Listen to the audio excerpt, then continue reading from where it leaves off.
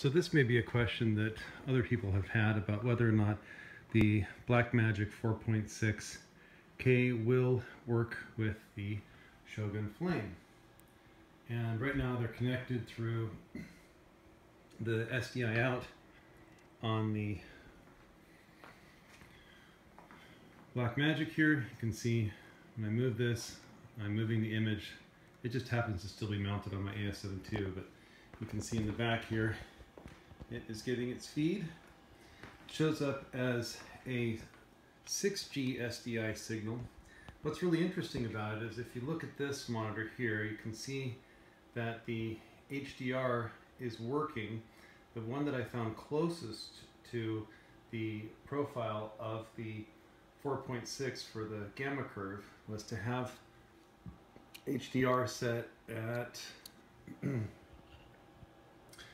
um, 4.5 stops over Aries log 160. That seems to be a reliable representation of where this is. You can see my zebras here are at 100 IRE and that's the closest similar profile I can find to the same amount of just slightly going over here. So at least the very high end of the gamma curve uh, suggests that whatever I have that's working in here is going to work here.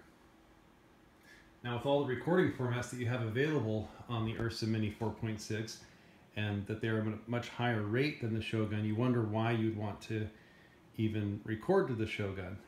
But again, the nice thing is, is the large monitor, you can see that the peaking still works and without using a LUT, you can see what the entire um, dynamic range looks like um, on the monitor thanks to their new HDR setting. So it does work, Shogun Flame and the Ursa Mini 4.6 can be friends.